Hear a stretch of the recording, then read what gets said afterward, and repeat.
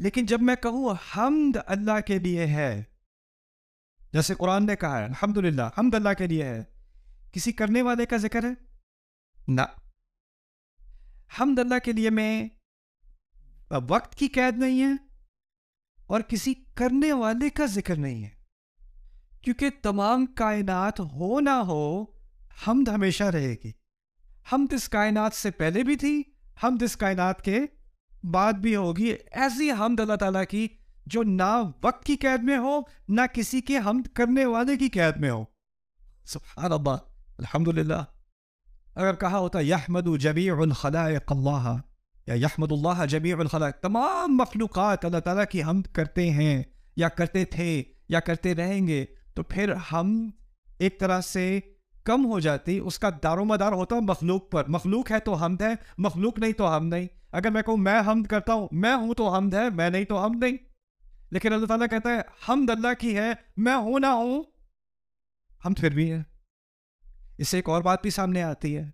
जो जो लोगों का अल्लाह ताला पर ईमान नहीं है ना, वो कहते हैं यार तुम क्या, किस, कैसे खुदा की इबादत करते हो? तुम्हें क्या मुसीबत है? इस खुदा को क्या ज़रूरत है कि वो तुम उसके सामने नमाजें पढ़ो, सजदे करो? क्या शौक है उसे अपनी तारीफ़ करवाने का? क्योंकि दुनिया में जिसको अपनी तारीफ़ करवाने का शौक है, वो बहुत मुतकबिर होता है। तो ये किस किस्म का खुदा है तो उसको अपनी तारीफ़ करवाने का शौक है? उसके जवाब में अल्हम्दुलिल्लाह काफ़ी है। यानी जब कोई मखलूक थी भी नहीं, तब भी उसकी हम थी। इसी तरह सूरत रहमान में अल्लाह ताला ने ये बात समझा दी है। कहा है, कुल्लु मन अलैहा फ़ान व यबका वजह रब्बिका जुल जलाली वल इकराम। देखें, जलाल किस चीज़ को कहते हैं?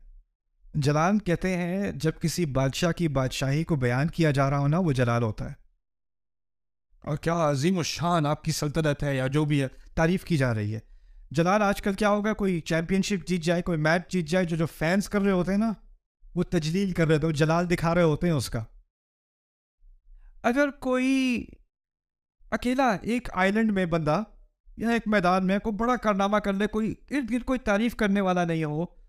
तो उसकी जलाल हुई या नहीं हुई? जलाल करने के लिए आपको, जलाल होने के लिए आपको जलाल करने वाले चाहिए। कोई तारीफ़ करने वाला चाहिए, तब तारीफ़ होगी ना।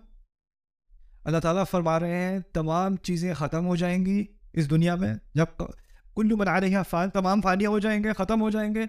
लेकिन तेरे रब का चेहरा जुल जलाल जलाल वाला बाकी रहेगा। जलाल करने वाले, कोई तारीफ़ करने वाले हैं।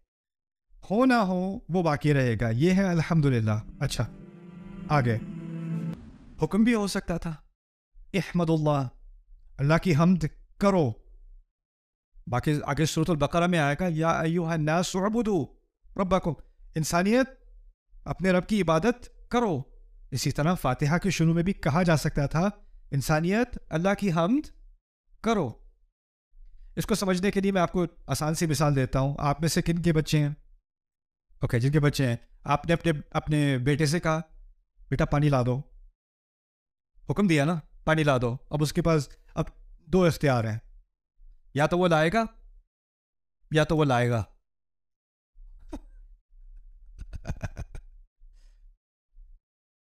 जब आप आमतौर पे किसी को हुक्म देते हो तो बात क्या होती है कि अब उस पर डिपेंड करता है।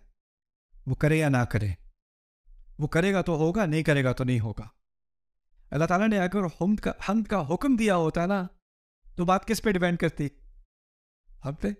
हम करेंगे तो होगी। अब हुक्म हमने ना माना तो क्या होगा? नहीं होगी।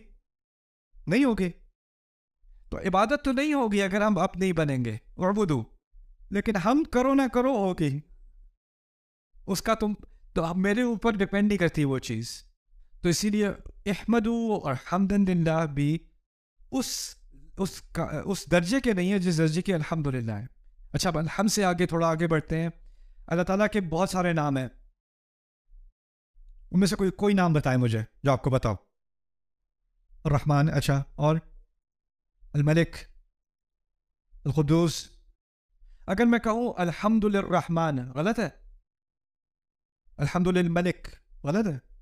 अल्हम्दुलिल्खालिक अल्हम्दुलिर्रहीम अल्हम्दुलिल्हकीम अल्हम्दुलिल्हादी अल्हम्दुलिल्मुतकब्बिर अल्हम्दुलिल्जब्बार अल्हम्दुलिल्वहाब सब सही है ना क्योंकि ये तमाम किसके नाम है अल्लाह ताला ही के नाम है